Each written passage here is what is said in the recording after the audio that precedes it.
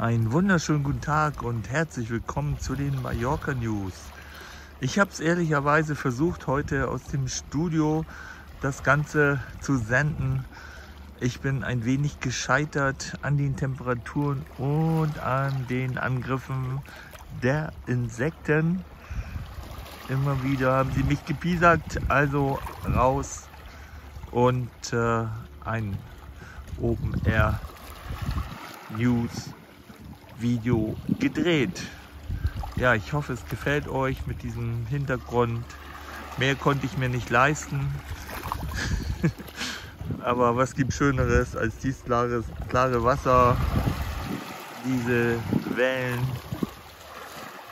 ein kleines bisschen Wind. Und der Wind ist genau das Problem, weshalb natürlich diese News manchmal nicht so angenehm zu hören sind und deswegen ich sie lieber aus dem Studio sende, aus meinem Mini-Studio. Und äh, ja, ich hoffe, es geht heute. Ich habe mich extra so platziert, dass der Wind uns hoffentlich nicht so sehr schadet.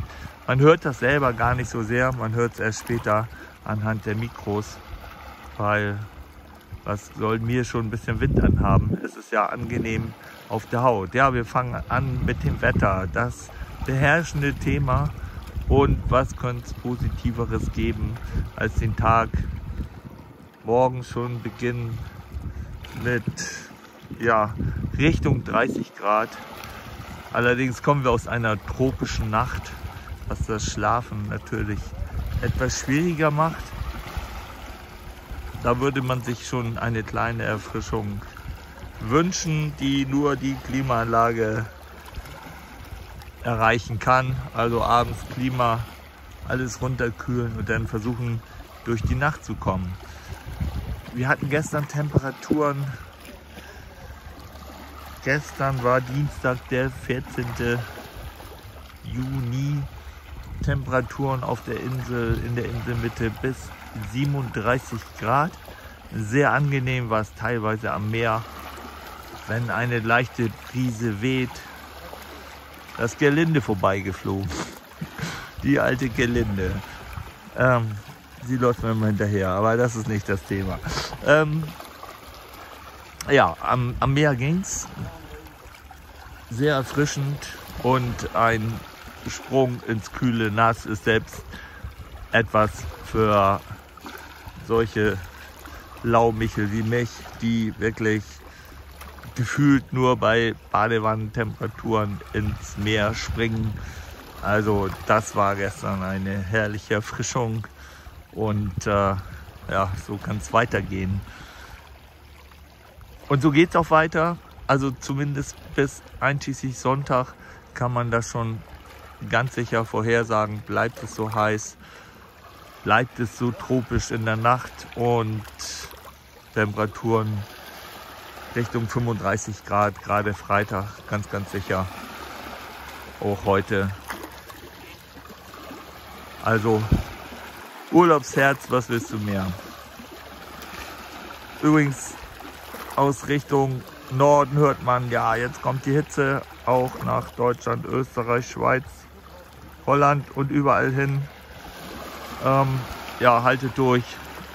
Wir hier sind es ja schon gewohnt. Also wenn man von hier zurück nach Deutschland kommt, ich glaube, dann kriegt man das ganz gut hin.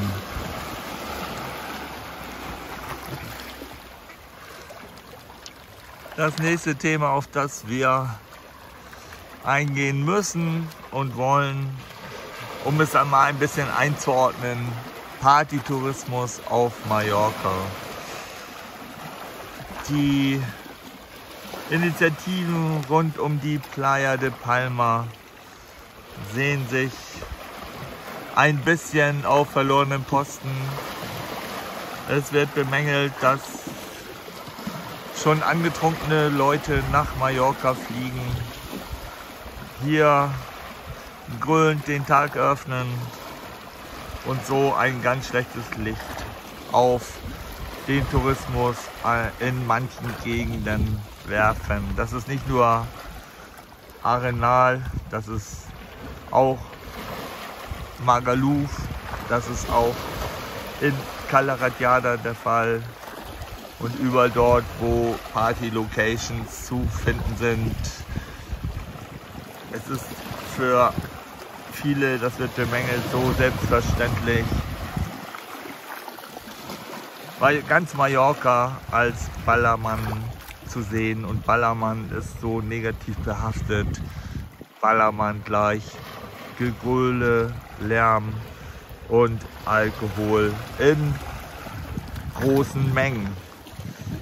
Ja, das haben wir gemacht. Wir haben mal uns ja ein bisschen umgeschaut, ein Video dazu von der Playa de Palma folgt. Es gibt sehr, sehr viele negative Punkte, aber auch Positives. Es sind natürlich so viele Leute zurzeit auf Achse wie selten zuvor. Der Nachholbedarf ist riesig. Zwei Jahre verzichten hieß für viele auch verzichten auf Party, Leute treffen und vieles mehr.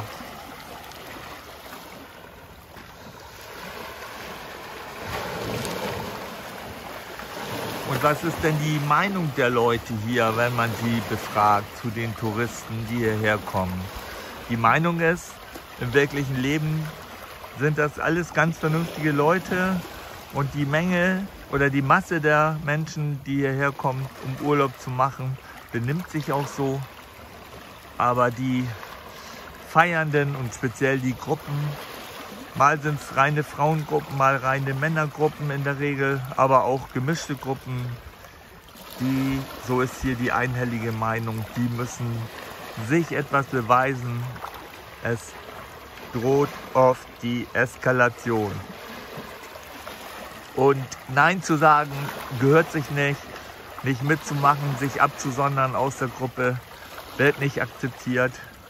Und von daher, ja, macht man eben mit, was man oftmals auch gar nicht machen möchte.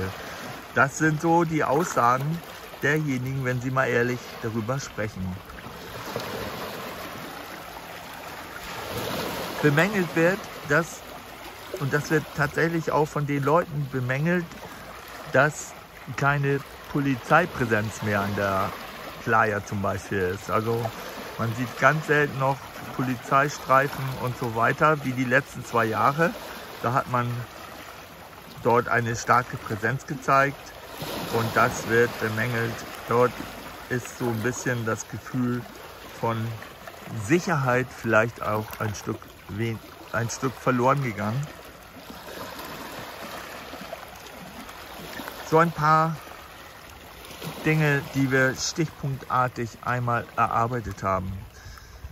Zum Beispiel gibt es auch Gruppen von Bikern, die fahren nicht durch irgendwelche grünen Landschaften und auch nicht nur durchs Tramontana-Gebirge. Nein, es ist schick.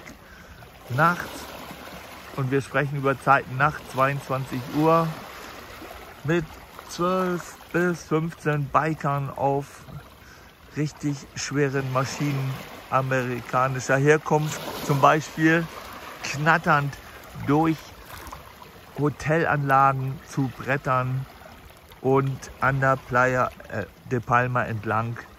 Das ist geschehen vor ein paar Tagen und das ist auch kein Einzelfall.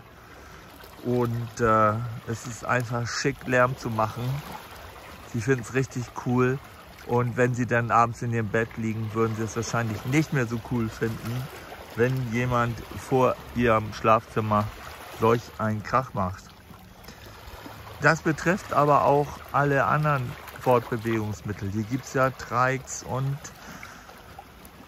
Quads und was nicht alles. Und diese werden bewegt auch nicht in grünen Landschaften, wo es vielleicht mal nicht so schlimm ist, wenn es mal ein bisschen lauter wird, das Motorgeräusch oder der Auspuff, sondern es ist einfach cool, durch über den Boulevard von Pagera zu knattern und den Leuten zu zeigen, ja, wir sind da und wir feiern hier, wie wir möchten. das sind so die Hilfsmittel, die man benutzt. Dazu gehört aber auch erworbene Megafone von den Helmuts, die die hier verkaufen für wenig Geld. Man schreit da rein und hört es zehnmal so laut. Es quiekt und kreischt ohne Ende und die Leute, die dort reinsprechen, finden es lustig. Und dann geht man nachts zu seinem Hotel, kommt von der Feierei und bei nachts sprechen wir von 2, 3, 4, 5 Uhr morgens vor dem Hellwerden und dann ist es einfach so cool, so ins Hotel zurückzukehren. Ja, Entschuldigung, dass ich lachen muss. Es ist nicht zu lachen, zum Lachen. Es ist einfach ein Trauerspiel. So wird das hier auch äh, dargestellt. Die Helmuts es werden immer mehr, aber es wird einhellige Meinung. Es wird gesagt, die sind alle nett, das sind nette Burschen.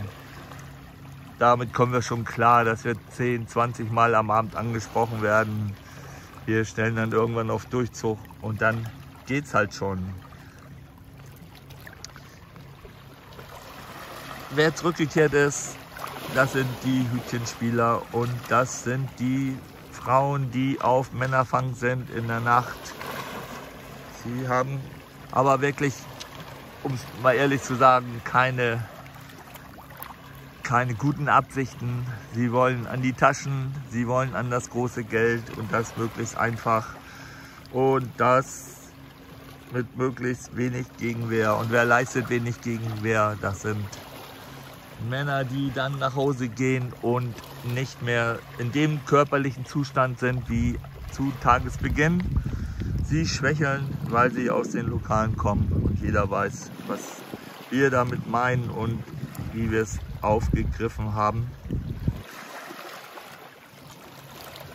Natürlich muss man sagen, die Lokale verfolgen hier eine stramme Linie die haben aufgerüstet, sie haben sich qualitativ unwahrscheinlich verbessert. Auch Megapark und Bierkönig, bei Bierkönig vielleicht nicht ganz so zu erkennen, aber sie haben aufgerüstet und sie legen mehr Wert auf den Dresscode und alles, was damit zusammenhängt. Wenn es Eskalation gibt, damit meinen wir nicht singen und alles, sondern damit wird gemeint ähm, Streitereien, Respektlosigkeiten und so weiter. Es darf dort drin gefeiert, gesungen, gelacht und gekreischt werden. Das ist wirklich kein Problem. Und dort ist, läuft das auch in geordneten Bahnen. Und die, das Video, was wir bringen werden, heute wahrscheinlich noch im Laufe des Tages oder des Abends, stellt das eigentlich auch dar. Vor dem Lokal wird brav angestanden, man wird kontrolliert, der Laden wird voll gemacht, sage ich mal, aber nicht übervoll. Wenn Stopp ist, ist Stopp. Und davon können wir uns überzeugen. Ja, das Problem ist nicht drin, sondern das Problem ist draußen. An den Mauern des Strandes liegt Müll in Hülle und Fülle, obwohl dort Behältnisse vorzufinden sind. Das nervt auch viele Leute hier. Die fragen sich, warum achtet da niemand drauf? Warum kommt keiner vorbei und setzt die Regeln um. Das kommt wirklich aus den Kreisen auch der Feiernden. Nur nicht natürlich von den paar, die es verursachen, die sagen, hey Leute, wir haben hier bezahlt, wir haben es hier teuer bezahlt, wir zahlen die teuersten Flüge des Jahres und wir zahlen für drei, vier, fünf Tage hohe Hotelkosten. Was wollt ihr denn? Unser Geld möchtet ihr haben, aber ihr möchtet uns hier nicht feiern sehen. Das können wir nicht akzeptieren. Rauchen ist natürlich auch weiterhin das Thema. An der Playa ist es an ganz vielen Stränden verboten. Hinweisschilder sind dort. Viele akzeptieren das ohne Mohren, nehmen die Kippen mit, entsorgen sie vernünftig. Manche aber wiederum sagen, nein, ab in Sand damit, reingedrückt und tschüss. Dann ist man einhellig der Meinung, nicht nur Mallorca ist zum Feiern da. Wir feiern genauso, wo wir herkommen. Wir feiern in Düsseldorf, wir feiern in Hamburg auf der Reeperbahn, wir feiern in Stadtparks und in Straßen, die dafür geschaffen sind, egal wo. Also einhellige Meinung ist, nicht nur die Playa de Palma ist zum Feiern da, sondern zu Hause wird es genauso gemacht. Ja, das ist so grob umrissen. Ein Punkt war noch, Autos wurden verbannt von der Playa. Das heißt, es ist eigentlich kaum noch möglich, die Playa komplett abzufahren mit dem Auto. Man kann mal kurze Strecken abfahren und dann muss man wieder runter und man tut es auch. Wer es nicht tut, sind die ganzen Zweiräder, die aus Sicht der Urlauber viel zu schnell unterwegs sind. Also E-Scooter, Motorräder, ähm, E-Bikes rattern da oder rasen dort entlang, auch unter Missachtung der Geschwindigkeit, die wohl bei 20 km/h liegt. Und äh, ja, das wird wiederum von den Touristen extrem bemängelt. Nachts muss man sich vorstellen, laufen sie alle überall über die Straßen und sind, kriegen das natürlich oftmals so schnell mit, nicht mehr mit und es kann, kann und kommt auch hier und da zu unangenehmen Zwischenfällen. Ja, so viel dazu. Kein so angenehmes Thema. Machen dagegen kann man nichts. Aber die Möglichkeiten, die man hat, wird man in Zukunft ausschöpfen. Und im Herbst, Winter sollen weitere Maßnahmen beschlossen werden. Die Eskalation an solchen Orten wie Magaluf und Playa de Palma zu verhindern. Und es wird was kommen. Es wird wahrscheinlich ein strikteres Alkoholverbot geben. Es gibt natürlich Händler, die verkaufen aus Plastiktüten und Kisten heraus illegal und äh, den möchte man auch an den Kragen gehen. Wir werden gespannt sein. Dieses Thema wird uns weiter verfolgen und äh, wir werden darüber zu reden haben. Das letzte Thema für heute ist ebenfalls ein unangenehmes, wer bereits seinen Urlaub gebucht hat und dieses für Ende Juni, sprich Extremfall zwischen dem 24. Juni und dem 2. Juli.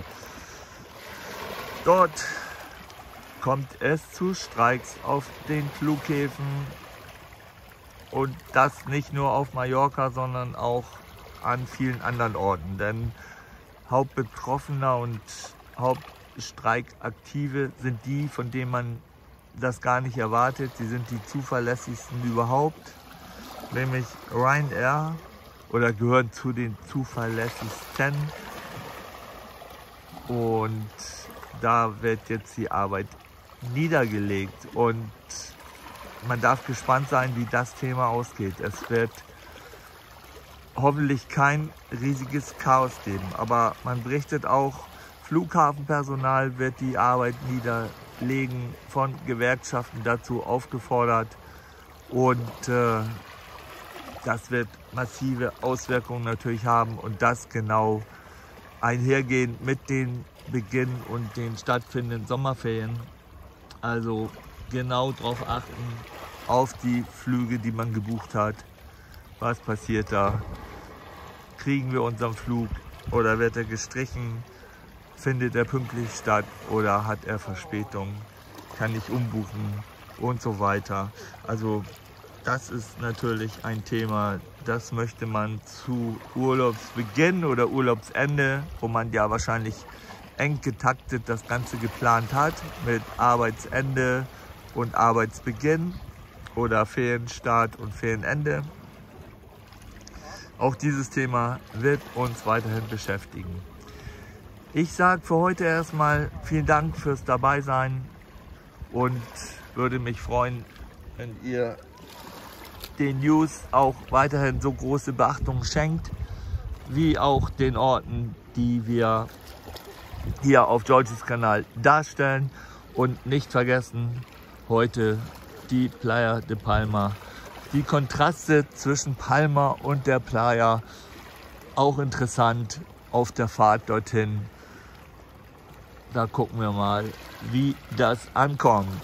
Ich sage heute Tschüss, Adios und Bye Bye. Wünsche weiterhin einen traumhaften Tag, wie auf Mallorca auch, mit Wind und Wellen zur Erfrischung. Bis dahin sage ich Tschüss und Adios, Bye Bye. Bis zum nächsten Mal auf Georgies Kanal.